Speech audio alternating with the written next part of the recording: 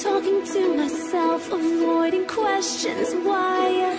Just like a criminal, what felt like the beginning, no reason to an ending. It's hard to watch you do this.